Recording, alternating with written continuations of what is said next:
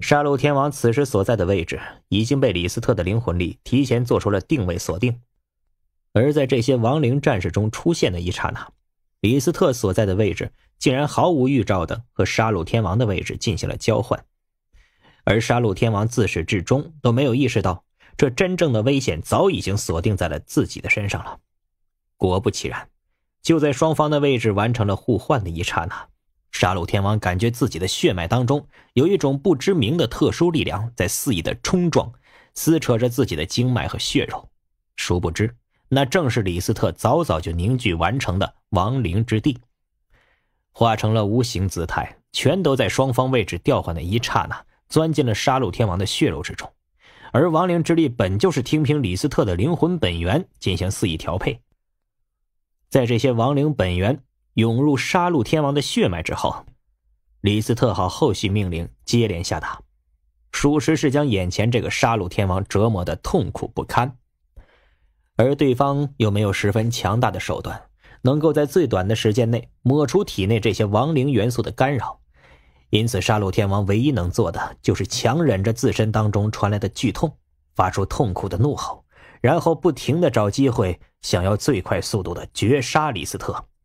然而，他很快发现，这些亡灵对自己产生的影响根本不是想象中那么简单。不管他用怎样的办法，洗涤自己的经脉，都没有办法将亡灵之力带给自己的影响彻底去除。你不是很猖狂吗，小伙子？还对老子竖起了中指？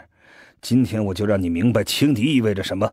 在你我这种级别的战争当中。小瞧自己的对手是一种最低级的错误。我原本以为你们八大天王全都是整个瀛洲大陆西域最顶尖的存在，根本不会犯这种低级错误。如果你稍微对我有所防备，也绝对不可能被我这样的手段禁锢住手脚。可是现在说什么都已经晚了，我将会让你看到属于我无与伦比的力量。果不其然，就在李斯特的话音一落的瞬间。他的背后毫无预兆地展开了风之魔龙的双翼，整个人虚空顺势飞起，强大无比的风属性漩涡开始在李斯特的面前疯狂凝聚，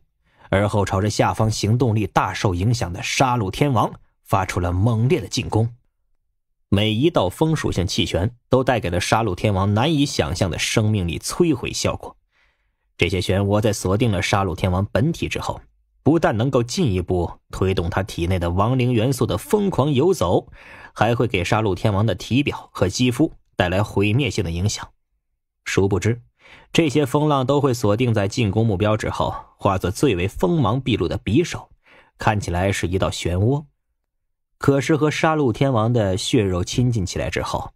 就会变成无比残忍的锋刃，像是有数不清的钢刀切割着自己的皮肤和经脉一般。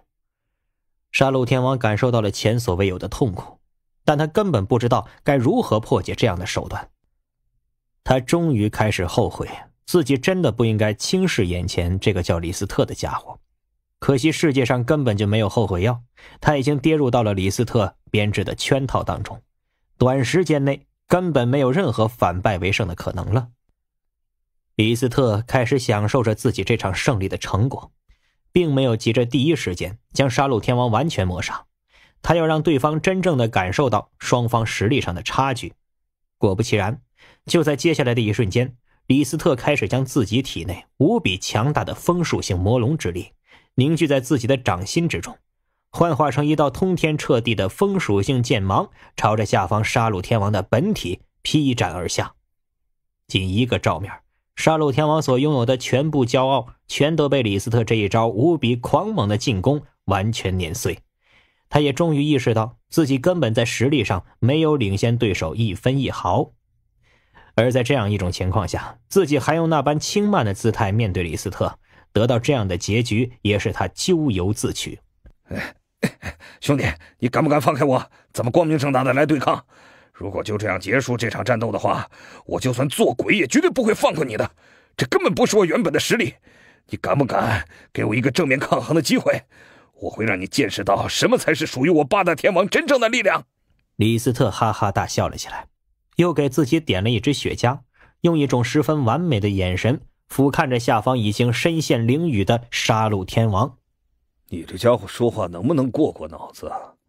拜托，我几时说过自己是什么正人君子了？自打老子踏入修炼意图的那一天起，我就告诉自己不要相信任何对手的连篇鬼话。你现在已经落入到我的手中，我怎么可能又重新放过你，再给自己增添更多的麻烦呢？